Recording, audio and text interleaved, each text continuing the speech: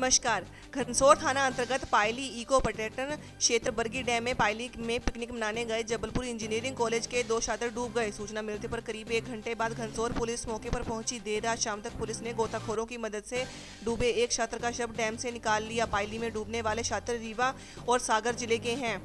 ज्ञात हो कि पिकनिक मनाने पहुँचे आठ छात्र पहुँचे थे।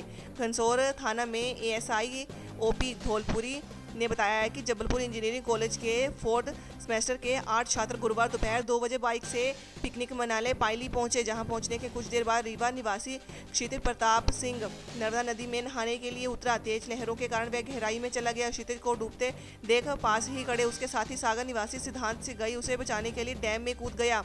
दोस्तों ने पुलिस को सूचना दी। इसके बाद आसपास के थानों की पुलिस और जबलपुर के एनडीआरएस टीम ने भी मौके पर पहुँच गई।